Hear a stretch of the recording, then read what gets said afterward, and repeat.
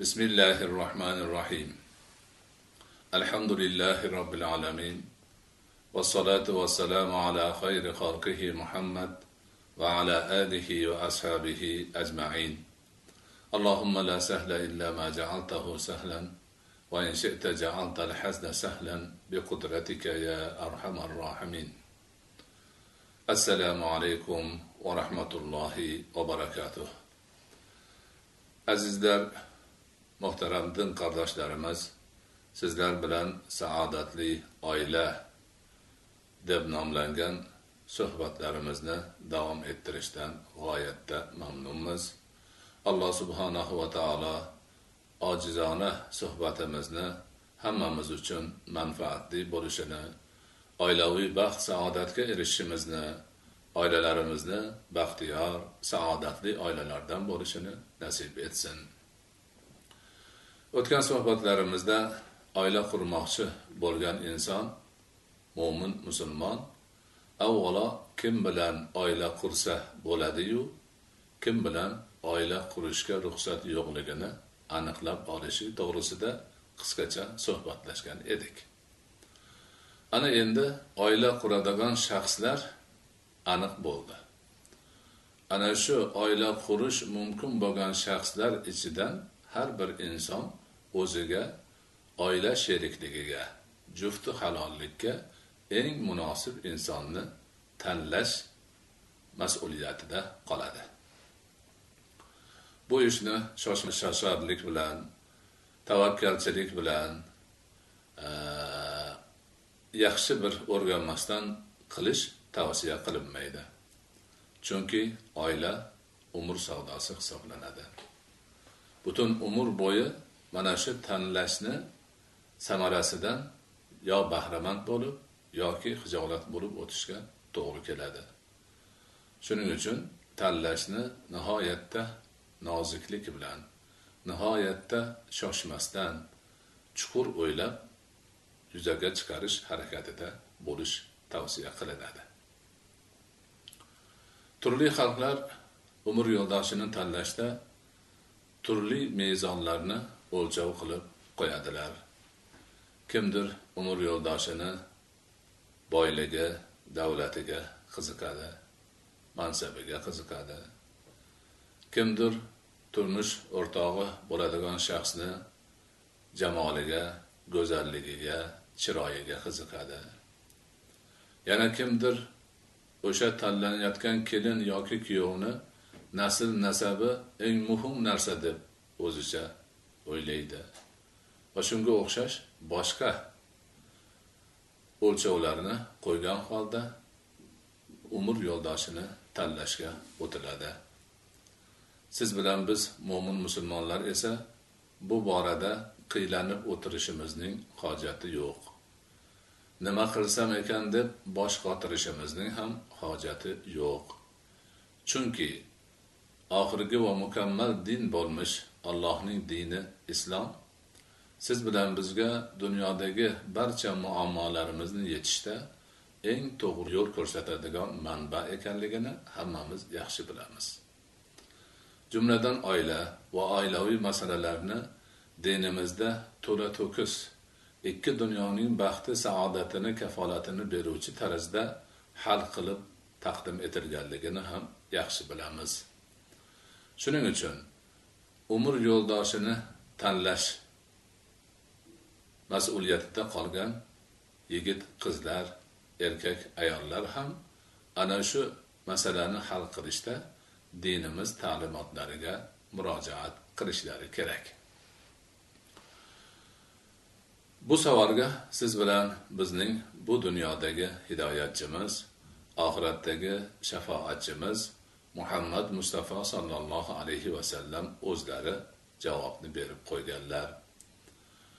Munosib kelin tanlash bo'yicha u kishining ko'pgina hadislari bor. Shulardan bitta ulug' hadis jamlovchi hadis hisoblanadi va kelin tanlash bobida barcha ulamolarimiz tomonidan hujjat dalil qilib keltiriladi. Ana o'sha mashhur hadisda rasuli akram muhammad mustafa sollallohu alayhi vasallam marhamat qilib aytadilar tunkahul mar'atu li arba'in limaliha va li jamaliha va li hasabiha va li diniha fazfar bi zati dini taribat yadak. Ayol kishini nikohiga to'rt narsasi uchun qiziqiladi. Moli uchun jamoli uchun nasabi uchun va dini uchun. Dini borini mahkam tutgan deydilar rasuli akram alayhissalotu vassalom ushbu hadisi sharifda rasuli akram alayhissalotu vassalom kelin tanlash paytida kelinni demak eng yaxshi xislatlari kelinda bor sifatlarni odamlar ko'p e'tibor beradiganlarini aytib turib ularni ichidan mo'min musulmonlar uchun bittasini tanlashni tavsiyasini ham qilyaptilar. Haqiqatdan ko'pchilik kelin tanlash paytida e'tibor beradigan narsalardan bittasi kelinni moli dunyosi bo'ladi. Moli dunyosi ko'p bo'lgan kelin ya'ni ota onasi boy badavlat bo'lgan kelinni kelin qilib olishga qiziqadiganlar ko'p. Yana bir kelinni qiziqtiradigan sovchilarni unga rag'bat qilishini ta'minlaydigan narsalardan biri kelinning jamoli bo'ladi chiroyi. Go'zal chiroyga ega bo'lgan kelinlik bo'lish o'sha kelinga jufti halol bo'lish yoshlarga juda yoqib tushsa ota onalariga ham go'zal bir holat bo'lib ko'rinishi mumkin. Yana ba'zilar kelinni nasli nasabiga qiziqishadi. U ham bor. Ana ba'zi birlari dindor bo'lishiga ham qiziqadi. Rasuli akram alayhissalotu vassalom ana o'sha to'rt xislat ichida kelinning dindorlik xislati eng oliy xislat ekanligi ana o'sha xislatni ustun qo'yishligi kelinni tanlayotganda dindorligiga alohida e'tibor berish kerakligini aytyaptilar. Agar hadisi sharifda zikr qilingan to'rt sifat moldorlik go'zallik hasabu nasablik bo'lish va dindorlik bo'lish hammasi kelinda mujassam bo'lsa nihoyatda yaxshi. Lekin har shu to'rttadan bittasini tanlash kerak bo'lib qolsa mo'min musulmon kuyov va uning tarafdagi rahbarlari dindor kelinni hech ikkilanmasdan tanlashlari kerak bo'ladi. Nima uchun deyilsa bu yerda moli dunyoni olinadigan bo'lsa bu o'tkinchi bir holat hisoblanadi. Moli dunyo bir kunda yoki bir muddatda yo'q bo'lib qolish ehtimoli kuchli ho'p kelinni moliga qiziqib olgan bo'lsa moli yo'q bo'lib qolsa nima bo'ldi? Uni qiziqtiradigan hech narsasi qolmadiku. Ikkinchidan yosh qizlar kelinchaklar moli dunyolik bo'lsa kuyov taraf uni moli dunyosiga ishqivoz bo'lib olganini ham bilib tursa ana o'sha moli dunyoni ishga solib ularni ustidan mutakabbirlik qilishi ularni nazar pisand qilmasligi bular mani molim uchun muhtojlar shuning uchun kelin qilishgan. Ana o'sha e'tiborda man bularga nima qilsam bo'laveradi degan g'ururga ketib qolishi hech gap emas. Jamol masalasi ham shu. Go'zallik bu abadiy bo'ladigan narsa emas. Yosh o'tishi bilan bitta ikkita farzandning tug'ilishi bilan jamolga futur yetishi jamoli o'zgarib go'zalligi yo'qolishi bor. Bunda ham demak jamoli ketgandan keyin kelinni eng kuyovni qiziqtirib turgan omili ketgan bo'ladi boshqa qiziqishi qolmasligi mumkin. Ikkinchidan yosh qizlar kelinlar kuyov taraf uni jamoliga mahliyo bo'lganini bilib qolsa ana o'shani ishga solib ularni ustidan masxara qilishi nazar pisand qilmasligi. Bu mani jamolimga mahliyo endi unga nima qilsam ko'tarishi kerak degan holatlarga o'tib qolishi tajribada ko'rilgan.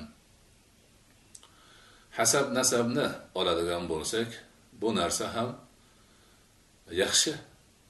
Kelinni ota onasi nasabi pok hasabi yaxshi odamlar bo'lsa nihoyatda yaxshi. Lekin hasab nasab o'z uyida qoladi. Kuyovnikiga kelin keladi. Buni ham e'tiborini olish kerak. Dindorlik esa dindorlik insondagi vaqt o'tishi bilan yoshi katta bo'lishi bilan ziyoda bo'lib boradigan birdan bir fazilat hisoblanadi. Yoshlikda inson uncha tushunmasdan dindorligi bir oz sathiyroq bo'lishi mumkin bir oz nuqsonlarga ega bo'lishi mumkin. Lekin vaqt o'tgan sari dindorlik kuchayib boradi. Ana endi dindor bo'lgan kelin esa o'zini diniga amal qiladi. Dini esa kuyovni hurmat qilish kuyovni ota onalarini izzat qilish ularga itoatda bo'lish oilasiga ixlosli bo'lish vafodor bo'lish hamma tarafdan demak to'liq mukammal sifatlarni kelinda mujassam qilishga dindorlik xizmat qiladi. Ana shu e'tibordan ham rasuli akram alayhissalotu vassalom kelin tanlayotgan kishilarga munosib kelin qanday bo'ladi degan savolni o'rtaga qo'yganlarga dindor kelin eng yaxshi kelin bo'ladi dindor kelin eng munosib kelin bo'ladi degan javobni aytadilar. Kuyov tanlash masalasi ham shu. kuyov tanlashda ham o'sha kuyovni moli dunyosiga mansabiga chiroyiga ota onasini amaliga yoki boshqa narsalarga qiziqish ko'p lekin rasuli akram alayhissalotu vassalom bularni barchasini bir yoqqa qo'yib turib dindor va xulqi yaxshi kuyov tanlashni tavsiya qiladilar u zoti va barakot o'zlarining hadislarida marhamat qilib aytadilar إذا أتاكم من ترضون دينه وخلقه فزوجوه illam taf'alu yakum fil dunya fasadun kabir. Agar sizga o'zingizni qizingiz yoki singlingizni so'rab o'zingiz dinidan va xulqidan rozi bo'lgan kishidan savolchi kelsa unga o'shalarni bering. Agar buni qilmasangiz dunyoda katta fasod bo'ladi deydilar. Chunki dindor kuyov bo'lsa dini uni kelinni hurmat qilishga e'zozlashga ehtirom qilishga unga jabr qilmaslik zulm qilmaslikka undaydi go'zal xulqli bo'lgan kuyov hech qachon bu narsalarni qilishga xulqi ham dini ham yo'l bermaydi. Shuning uchun u doimo ayoliga yaxshi munosabatda bo'ladi. Hadisni boshqa rivoyatlarida agar kelinni yaxshi ko'rib qolsa murod o'zi shu. Lekin yoqtirmay qolganda ham unga zulm qilmaydi deganlar. Ana kelinni zulm ostida qolmasligi doimo e'zozda bo'lishi xayr barakada oilada yashab borishini ta'minlovchi kuyovning sifati dindorlik va husni xulqlik go'zal xulqi bo'lishligi bilan o'lchanar ekan. Ana shuning uchun qizi bor kishilar yosh qizlar kelinlikka nomzod qizlarimiz kuyov tanlashda ularga umr yo'ldoshini tanlashda moli dunyo ketidan yurmaslik mansab obro' ketidan yurmaslik ota onalarni demak nasabi nasabini asosiy o'lchov qilib olmasdan kuyovning o'zini dinini iymon e'tiqodini axloqini o'lchovli qilib olishlari tavsiya qilinadi. Yana takror aytamiz agar o'sha din husni xulq bilan qo'shilib moli puli bo'lishi obro' e'tibori bo'lishi mansabi nasabi bo'lishi yaxshi. Lekin bu yerdagi gap o'shalardan bittasini tanlash imkoni bo'lganda dindorlikni tanlash tavsiya qilinadi. Ana ana shunday qilib umr yo'ldoshini ikki taraf ham juda e'tibor bilan qarashi tanlashi ana shu tanlovni to'g'ri chiqishi uchun kerak bo'lgan barcha shartlarni yuzaga chiqarish harakatida bo'ladi. Ana shunda inshaalloh tanlov yaxshi bo'ladi munosib kelin va kuyov tanlanadi va buning esa oqibati oilaning baxtiga saodatiga xayriga barakasiga sabab bo'ladi. والسلام عليكم ورحمة الله وبركاته.